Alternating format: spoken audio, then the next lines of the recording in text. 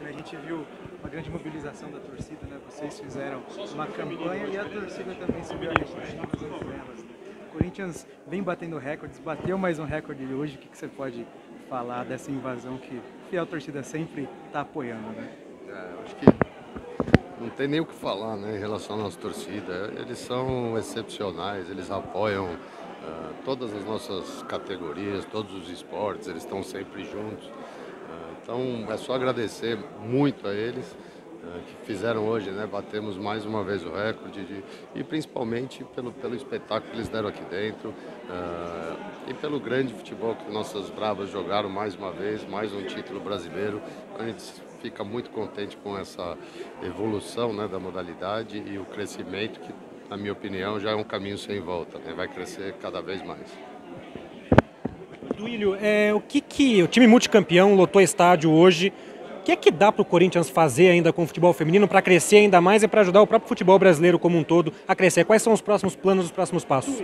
Ah, a gente, uh, tudo que o Corinthians faz né, nesses últimos anos aí de 2016, enquanto ainda existia uma parceria, a partir de 2018 tendo o futebol 100% dentro do clube, né, do feminino. Uh, a gente sempre trabalha com a Cris, que é a nossa diretora, que faz um trabalho incrível, mas sempre uh, com, com, com, o propósito de melhorar a categoria como um todo, não só o, o Corinthians. Né? A gente entende que para que a gente tenha um futebol feminino forte, não adianta só um clube, dois ou três terem um time forte, e sim toda uma estrutura com as transmissões que hoje tivemos ao vivo, os patrocinadores que têm chegado cada vez mais. Então, as, as, federações e confederações, tanto a Comebol como a Federação Paulista e agora a CBF com prêmios maiores.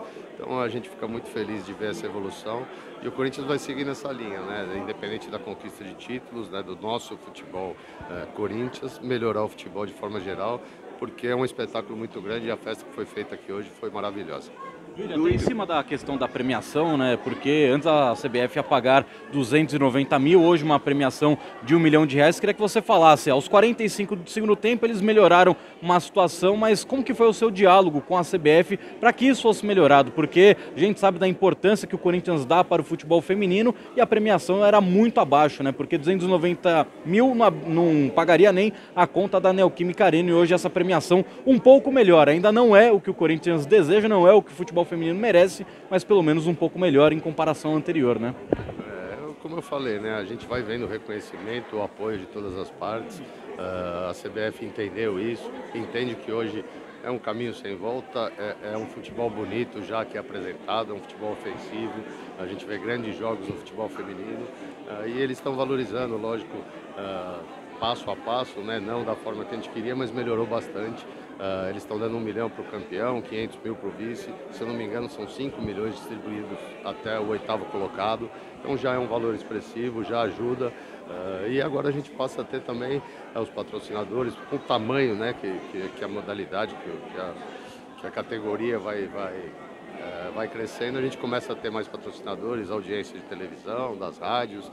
Então, e a torcida que não só do Corinthians, que é do Corinthians Uh, eu não gosto de falar das outras, mas a do Corinthians a gente não precisa uh, nem falar, sempre foi assim. Mas dos outros clubes também, né? A gente teve, eu estive na semifinal no Allianz, tinha acho que 30 mil pessoas, 20 e tantas mil pessoas, lá em Porto Alegre 36 mil pessoas. Então parabenizar todas as torcidas e os clubes que também vêm investindo e a gente sabe que uh, com todos unidos a gente vai fazer um futebol feminino cada vez maior no Brasil. Duílio, 41 mil pessoas, um recorde assim bem representativo. O que isso representa para vocês? De que forma que você pode agradecer esses torcedores que estiveram aqui apoiando o futebol feminino cada vez cresce mais? Como eu falei, né? A gente fica até repetitivo de agradecer a nossa torcida todo momento. Mas eles são diferentes, né? Eles são excepcionais. Então a gente tem muito que agradecer. E acho que quem veio aqui hoje viu um grande jogo de futebol, uma grande festa, bonitos gols. Então acho que, que, quem veio gostou, se divertiu e não tenho dúvida que uh, na, nas próximas vezes que o Corinthians jogar aqui na Neoquímica Arena a gente terá também um grande público, porque o espetáculo é, é bom de se ver, é bonito, é um jogo bem jogado. Duílio, quais são as ambições para o futuro do futebol feminino do Corinthians?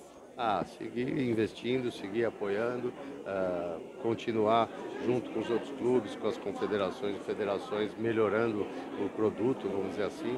Uh, e agradecer. Agradecer todos que, que participaram, todos vocês que divulgam a modalidade e aproveitar vocês aqui hoje para convocar a fiel torcida também para amanhã, a final do Sub-20, Corinthians e Palmeiras, às 11 horas da manhã, também aqui na Neoquímica Arena. Obrigado, gente. Tá aí, a Tá palavra aí a palavra do